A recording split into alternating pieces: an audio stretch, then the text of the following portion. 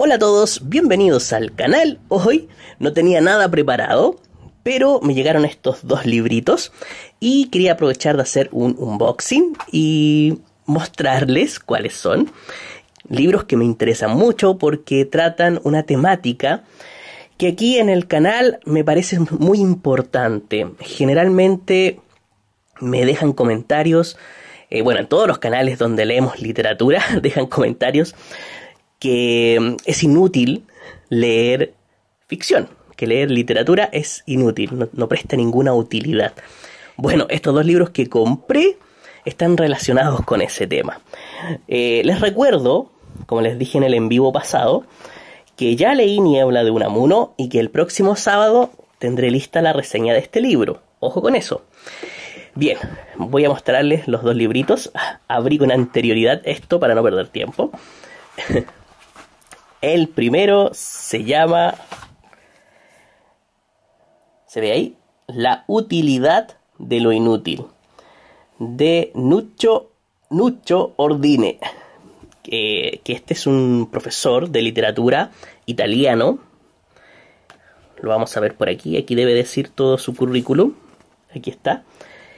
Eh, es profesor de literatura italiana en la Universidad de Calabria y autor de diversos libros, varios de ellos sobre Giordano Bruno y el Renacimiento. Ha sido profesor invitado de centros como Yale. Bueno, eso, ya está de más ya. Eh, yo lo vi, yo lo conocí a este autor en un video que está en YouTube, donde él habla sobre la importancia de la literatura, de la música, del arte en general, como forma de generar personas, de formar personas, la importancia de la educación y del arte para formar personas libres, dice él. Y que generalmente todo lo que, lo que tiene que ver con arte se, se le tiende a llamar inútil porque eh, no genera utilidades. Porque estamos en una cultura utilitarista en donde las cosas importantes son las que producen dinero, son las que generan beneficios. Y esto eh, aquí lo dice claramente, la utilidad de lo inútil es un manifiesto, eh, que aquí, aquí lo dice claramente Fernando Sabater, dice, algunos impenitentes agradecemos a Nucho Ordine su manifiesto La utilidad de lo inútil, en el que repasa las opiniones de filósofos y escritores sobre la importancia de seguir tutelando en escuelas y universidades ese afán de saber y de indagar sin objetivo inmediato práctico en el que tradicionalmente se ha basado la dignitas hominis. Es genial. Veamos, veamos, veamos más de este libro. Bueno, aquí dice también que trae un ensayo de Flexner, perdón la pronunciación, y, lo creo que viene al final. El ensayo viene al final. Claro, acá está. Acá en la 153 viene el ensayo. El libro tiene un total de 172 páginas. 172 páginas. Y les voy a mostrar un poco la letra para que lo vean. ¿Se ve ahí? ¿Se ve la letra? es chiquitita, es un libro de bolsillo. Pero como es un manifiesto, eh, uno se tarda en leerlo, no es algo que uno, devore en una tarde, es para ir leyéndolo poco a poco. Tiene, tiene cosas muy interesantes. Ah, para los que me decían que no leo libros actuales, este libro es del 2013. Miren, 2013. Estoy súper actualizado. Miren, en la cubierta dice Demócrito de Diego Velázquez. Para los que se pregunten de qué se trata la portada. Y vamos al contenido. ¿Qué trae este libro? Dice, bueno, trae una introducción y tiene una primera parte que dice la útil inutilidad de la literatura. Ya con eso me encantó. Es que siempre uno recibe esos comentarios. Yo sé que los que hablamos de libros, en cualquier tipo de red, siempre estamos recibiendo ese comentario de que esto es una inutilidad. Eh, a ver, algunos títulos que dice acá. Eh, que me llaman a... Mire, dice Los pescaditos de oro del coronel Buendía. Eh, la literatura utópica y los orinales de oro. El mercader de Venecia. Aristóteles, el saber carece de utilidad práctica. Kant, el gusto por lo bello es desinteresado. Ovidio, nada es más útil que las artes inútiles. Oye, que está interesante este libro. Eh, Leopardi, la elección de lo inútil contra el utilitarismo de un siglo soberbio y estúpido. Genial. Genial. No, está súper interesante, muy bueno. La segunda parte dice la universidad empresa y los estudiantes clientes. Qué verdad, qué gran verdad es esa. Qué gran verdad. Y la tercera parte dice poseer mata. Dignitas hominis. Eh, perdón la pronunciación. yo sé que siempre aparece alguien en el comentario diciendo que pronuncio mal, pero yo siempre lo digo, yo pronuncio mal. Pronuncio mal. Eh, es que tiendo a hablar rápido de repente y pronuncio muy mal. Me falta vocalizar. ya. Y dice la voz de los clásicos. Amar para poseer mata el amor. Poseer la verdad mata la verdad. Y en, el apéndice viene el, ensayo que dice la utilidad de los conocimientos inútiles. Que es la página 153. Mira, qué buen título para este ensayo, me gustó. La utilidad de los conocimientos inútiles. Este, este texto está para hacer un video de reflexión, ¿verdad? Ah, yo creo que lo voy a leer y voy a hacer un video de reflexión sobre este tema, porque, porque por Dios que es importante hoy en día eh, lo inútil. Hoy en día lo inútil es más útil. a ver qué dice por aquí.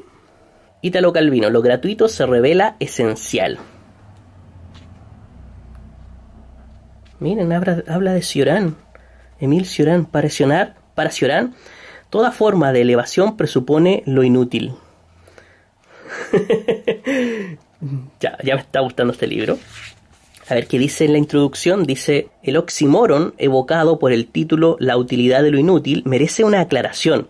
La paradójica utilidad a la que me refiero no es la misma en cuyo nombre se consideran inútiles los saberes humanísticos y, más en general, todos los saberes que no producen beneficios. En una acepción muy distinta y mucho más amplia, he querido poner en el centro de mis reflexiones la idea de utilidad de aquellos saberes cuyo valor esencial es del todo ajeno a cualquier finalidad utilitarista. Me encantó, me encantó. Ya, sigamos. Y el otro libro también es de este autor. También es de este autor. Y... Vamos a dar vuelta. Clásicos para la vida. Una pequeña biblioteca ideal. ¿Se acuerdan mi video de la antibiblioteca? Para los que lo vieron completo, en el final del video yo mencionaba este libro. De que yo lo quería y al fin es mío. Miren, es un poco más grande que este. Es un poco más grande, miren. ¿Qué dice aquí? Dice, séptima edición. Pocos libros sobre la relación entre el arte, la literatura y la historia de las ideas resultan tan apasionantes y luminosas como el de Nuccio Ordine, George Steiner. Genial. Este librito tiene, para los que les interesan las páginas, a ver, antes de la, de los, de los, de las fuentes, ya, sin, contar las fuentes, este libro tiene 166 páginas. Poquísimas, poquísimas. ¿Y qué dice aquí atrás? A ver, vamos a sacar un... Ah, mira, aquí hay, otro, hay otra... Hay otra otra frase que dice una defensa de la literatura contra todas las modas pedagógicas actuales en las que el PowerPoint parece ser el bálsamo milagroso para todo tipo de enseñanza. ¡Qué buena! a Jordi Jovet, el país. Eh, Jovet siempre aparece en los prólogos y en las introducciones de Kafka. En los libros de Kafka siempre él, es un gran conocedor de, de Kafka, siempre lo recuerdo. Vamos a sacar este cintillo y vamos a ver un poco el libro, a ver qué dice en la parte de atrás. ¿Se ve ahí? Que otros se jacten de las páginas que han escrito. A mí me enorgullecen las que he leído, decía Borges. Y es que los buenos libros nos transforman. Un pasaje, por breve que sea, puede despertar la curiosidad del lector y animarlo a leer una obra que cambie su vida para siempre. He ahí el poder de la literatura, que no solo nos abre horizontes, sino que deposita en nosotros, de manera lenta pero constante, la clave para entender la vida. Llevado por esta idea, Nucho Ordine nos invita a descubrir o recordar a algunos de los clásicos de todos los tiempos, maestros de innumerables generaciones, Platón, Rabelais, Shakespeare, Cervantes, Goethe, Rilke, pues para el autor la, enseñanza, la educación, constituyen una forma de resistencia a las omnipresentes leyes del mercado, a la mercantilización de nuestras vidas, al temible pensamiento único.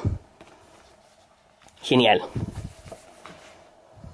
Bien, veamos qué nos dice el autor en su introducción. ¿Qué dice? A ver. Si no salvamos a los clásicos, perdón, si no salvamos los clásicos y la escuela, los clásicos y la escuela no podrán salvarnos. El verdadero lugar de nacimiento es aquel donde por primera vez nos miramos con una mirada inteligente. Mis primeras patrias fueron los libros. Qué bonita frase. Miren, en las frases de, la autora de Memorias de Adriano, ¿se acuerda que hablamos de este libro en el video de los 100 mejores libros del mundo? Aquí está. ¿Y qué dice Albert Einstein? Dice, solo es digna de ser vivida la vida que se vive para los otros. Esto también lo hablamos cuando hablamos de la resistencia de Sábato y cuando hablamos de la conquista de la felicidad de Bertrand Russell. Ideas que se repiten en, los libros. No hay que leer a los clásicos para aprobar los exámenes, que es algo que él decía en ese video, me acuerdo, de que estaba preocupado de que los jóvenes solamente leían eh, la literatura para aprobar los exámenes. para eso solamente. Que otros se jacten de las páginas que he escrito, a mí me enorgullecen las que he leído. Ninguna frase podría expresar mejor el sentido de mi trabajo que los dos versos con los que Jorge Luis Borges abre el poema titulado Un lector, en su elogio de la sombra. No me atañe, ciertamente, la declaración de modestia de uno de los mayores escritores del siglo XX, pero sí el acento en la vital importancia de la lectura, que traduce bien el espíritu con el que he concebido clásicos para la vida, garantizar que todo escenario esté ocupado por los textos citados y no por los breves comentarios que los acompañan. No es un azar que esta pequeña biblioteca ideal sea el fruto de un experimento concreto basado esencialmente en una experiencia de lectura. Ojeando el libro, bueno, voy a ir al, índice primero, nos va presentando varios, varios clásicos y algunos fragmentos importantes de esos clásicos. Por ejemplo, aquí está, se los pongo ahí para que, para que vean el índice, por si les interesa. Ahí está El Mercader de Venecia de Shakespeare. Está Carta sobre la locura de Demócrito de Hipócrates.